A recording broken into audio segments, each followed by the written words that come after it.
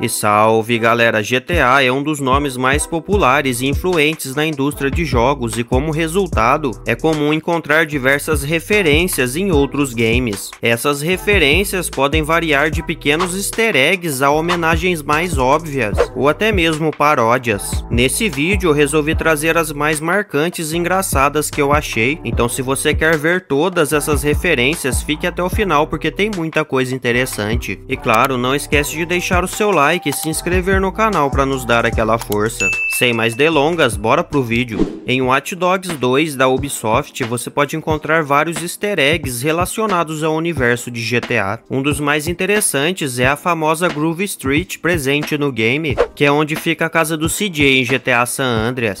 Chegando aqui, dá para notar diversas semelhanças, inclusive uma casa que possui algumas características, como as texturas, por exemplo, que lembram muito a casa do CJ. E dando uma volta pela vizinhança, também dá para notar algumas gangues que lembram as gangues presentes em GTA, além de alguns carros daquele estilo lowrider. E claro que em Minecraft alguma referência ao GTA também seria incluída. Ainda no menu, assim que você abre o game, existe a pequena possibilidade da frase Follow the Train CJ aparecer, o que é uma clara referência àquela missão famosa do trem em GTA San Andreas. O mais interessante é que a Rockstar também colocou um easter egg de Minecraft algum tempo depois em GTA V.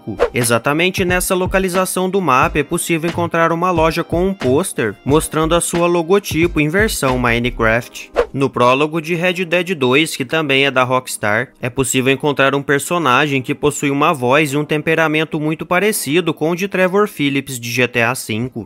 Welcome to Big Valley, Tim Milton. Pleasure to meet you both. We'll see you again. And you, boy, tell Mr. Geddes we called. We'll be back. Hey, by any chance, did you catch crabs at that conference?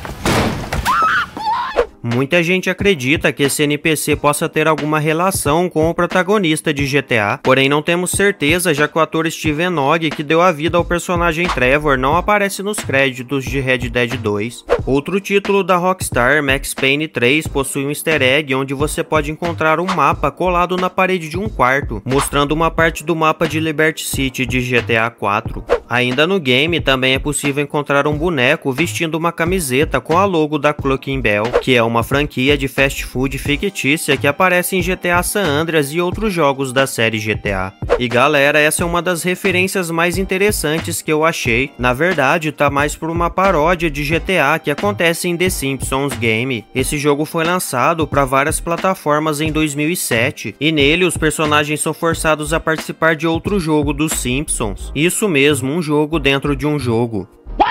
Então é claro que surgiria algo relacionado ao GTA. Em uma das missões do Bart, ele vai até uma loja procurar por um jogo chamado Grand Theft Scratch. Hello, pathetic store nerd. One copy of Grand Theft Scratchy, please. I'm sorry, sir. That game is rated M. No problem. I have ID. This is a Cal Calzone Zone frequent calzone eater's card. There's a free calzone in it for you. This never happened que além do nome óbvio, apresenta uma capa muito semelhante aos modelos utilizados pela Rockstar. Porém, o mais interessante é que Grand Theft Scratch é uma das fases do jogo e se liga nessa paródia que fizeram da Groove Street de GTA San Andreas. Look at this place. Graffitos, bottle and bags, and way more pimps than I'm comfortable with. I just don't understand why Bart would want to play this game.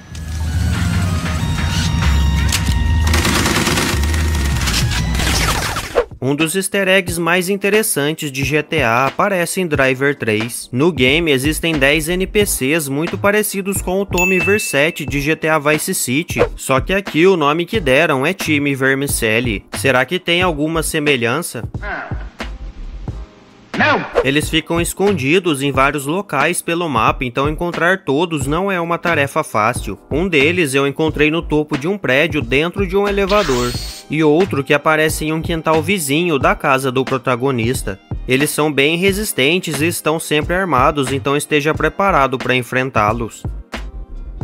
Outro easter egg interessante, novamente sobre GTA San Andreas, aparece em Cyberpunk. Ao chegar exatamente nessa localização do mapa, é possível encontrar dois NPCs caídos próximos à linha do trem e uma moto ao lado deles. Isso é uma clara referência à famosa missão do trem de GTA com o CJ e o Big Smoke. Ela ficou famosa porque caso você não consiga seguir o trem, a missão obviamente irá falhar e o Big Smoke sairá andando bem bravo xingando o protagonista, não importa o lugar onde você esteja. All we had to do was follow the damn train, CJ. All we had to do was follow the damn train, CJ. All we had to do was follow the damn train, CJ.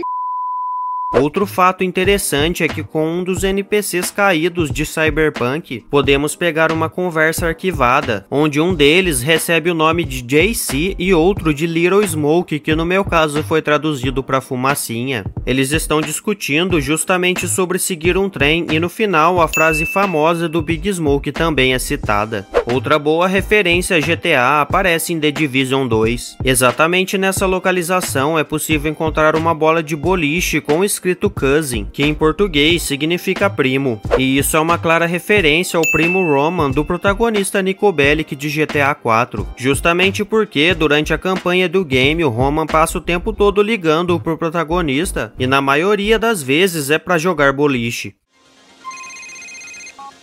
Nico, it's Roman. Let's go bowling. Okay, man. We go bowling. I come to get you in the next hour. E galera, na era do PlayStation 2 existia um grande concorrente de GTA, no qual muitas pessoas dizem que ele chegou até mesmo a assustar a Rockstar na época, devido ao seu grande potencial em relação a jogos de mundo aberto. Sim, estou falando de True Crime. Tanto que todo mundo conhece aquele easter egg famoso do outdoor em GTA San Andreas dando uma cutucada em True Crime. No segundo jogo que foi lançado, chamado True Crime New York City, existe uma missão que se passa em um museu. No final dela aparece um taxista te pedindo ajuda. Se você aceitar ajudá-lo assim que a missão começar, o protagonista irá falar algo do tipo: Só falta esse cara pedir para eu usar aviões de controle remoto também. Be a cab driver for this fool? Next thing you know, I'll be flying remote control toys and shit. E isso é uma referência àquelas missões um pouco chatas de GTA, onde temos que controlar aviões de brinquedo pela cidade. Tudo isso nos mostra o quanto a franquia GTA é insuperável e o quão grande ela é. E se você quiser conhecer mais jogos insuperáveis assim como GTA, não deixe de assistir esse vídeo do nosso canal. E se você chegou até aqui, não esquece de deixar o seu like e se inscrever no canal para nos dar aquela força, porque assim você vai nos motivar a continuar trazendo mais conteúdos como esse. E se puder, deixa aí nos comentários se você já encontrou algum easter egg sobre GTA. Um forte abraço a todos e até um próximo vídeo.